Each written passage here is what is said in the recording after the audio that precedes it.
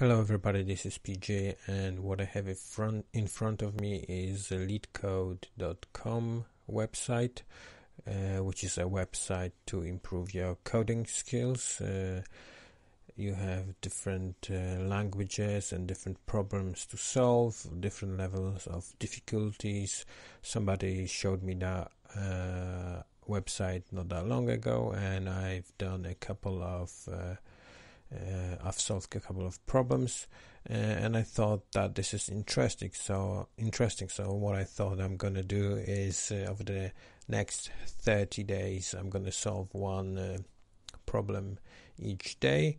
Uh, and it's going to be in PHP because this is the language I'm most uh, familiar with and I'm going to start from easy problems I'm also going to have a timer here on the screen so I will edit these videos so they will be shorter but you will actually see how long it took me to solve uh, each problem. I'm not gonna see problems before so I'm gonna each time uh, uh, select new problem that I haven't seen before. So what we're gonna do we're gonna go to this uh, problems section and then we're gonna filter by easy problems and I'm going to choose one of those and then select PHP language as a, a programming language and we'll try to solve these problems. So that's the challenge for the next 30 days. We'll see how that goes.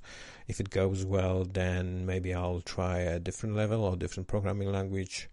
Uh, maybe JavaScript, uh, I don't know. So if this if this is something that interests you, if you want to follow along, then please uh, then subscribe and just follow my uh, coding challenge. So thank you very much. This was like an introduction video, and uh, the challenges will follow in the next 30 days. Thank you very much, and see you again soon.